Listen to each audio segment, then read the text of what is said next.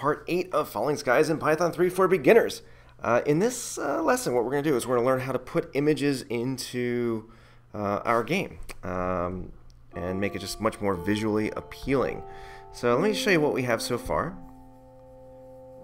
Okay, so we've got what we consider our good guys here, our bad guys here. When we collect the good guy, we get extra score. And when we touch a bad guy, we uh, lose points and lose a life. So far, nothing happens. There's no repercussions. Uh, maybe we can add that at a later point if we have time. So I'm going to close that. And what we're going to do is we're just going to change those shapes into images. And it's very, very simple. Um, this is why, again, I, I, set things up a certain way. This is uh, this process, you, know, you might hear it called wireframing um, or using primitives. So we have the game functioning basically how we want it to function. Now all we gotta do is just swap in some images. Okay, so a couple things about images. Uh, in, in this in Python, we're using the turtle module, so we have to use GIF images. So what I did was I went to a site called openclipart.org um, and I wanted a deer image, so I typed deer and I can scroll down and find something I like. There's a bunch of them, as you can see. And I think this was the one that I ended up using. Okay, so now you can see it's a very large image. So what you want to do is you want to download it small image. Okay. Now here's the problem. It is a PNG. So I'm going to go ahead and show that in Finder. And then I'm going to open that with the GIMP. Uh, now if you use uh, Photoshop. You can do this in Photoshop. There are other programs that will do this. But what I need to do is I need to do two things. I need to resize it. So I'm going to go to Image, Scale Image, and you'll see where it has width and height. So I want it to be 40 by 40. So 40, 43 is close enough. Click Scale. It changes the size. Then what I have to do is I have to go up to File. You can't see it on the screen, sorry. Uh, on GIMP, it's Export As. But I think on Photoshop, it's Save As. Um, you gotta find GIF image. Okay, and figure out where you're gonna save it, and then save it. Um, you have to put this as a GIF also.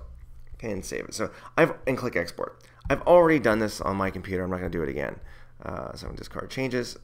And so what I have in in my folder for this particular game uh, is you'll see I have deer right GIF. That's the deer facing right. I have deer left GIF, and I have also I also have a background which I made, and I have a hunter GIF and I have a nut GIF. So those are the shapes I'll be using. So let me show you how to put those into your code. Now they have to be in the same folder as your code for that to work. So where we have up here, so win.bgpic, and I forget what I called it and it has to be the exact same title. That's the wrong thing. Um,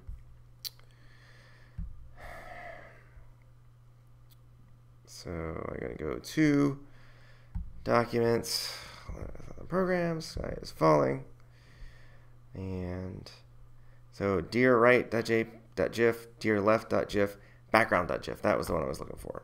So I'm going to go to type background.gif. I'm just going to test it. I'm going to run this. Let's see what happens. Now I got an error. This is what I expected. Um, depending on how you're running your program, this will differ from operating system to operating system. This will differ from uh, program to program. If this was in BB Edit, it would work just fine. Okay. What I have to do is I have to make sure that I'm in the exact same folder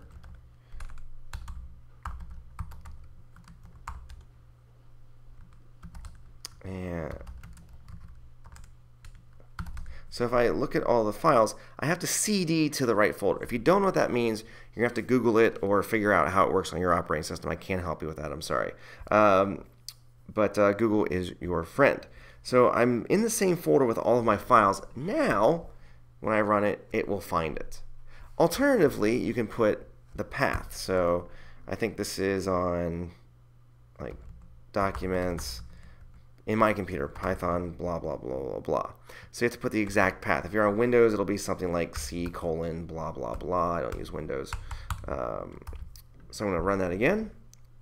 So what I do is I have a background GIF, Okay, so already it looks a lot better. The GIF is 800 pixels by 600 pixels.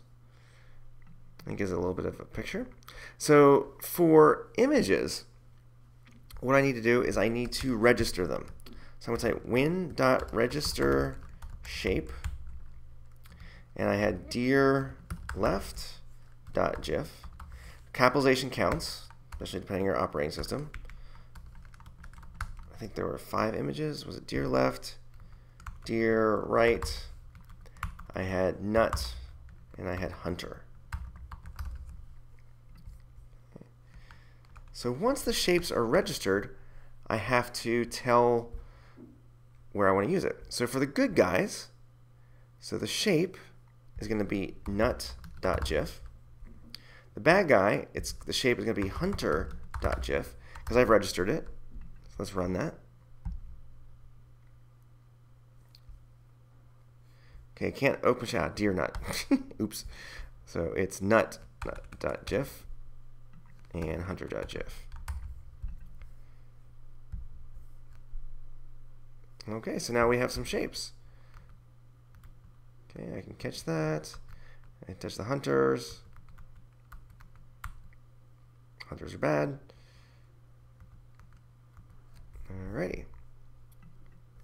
And so that's how we get those images. Now for the deer, um, we can say, let's see where we're at here. We see a deer. Let's just start the deer right.gif. Let's run that and test it. Okay. Now, again, I can leave the game like this.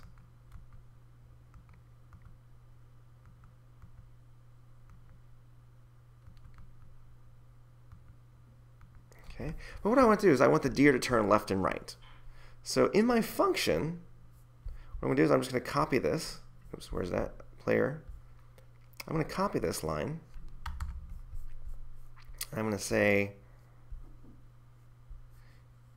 when player direction is left, oops, that's wrong, obviously. And I'm going to say also make sure the player shape is deer left.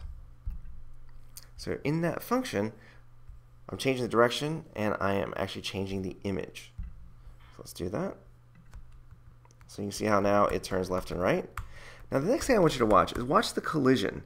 You see how I had to get really close and it kind of overlapping there. It's because the images we used, as I said earlier, are 40 by 40.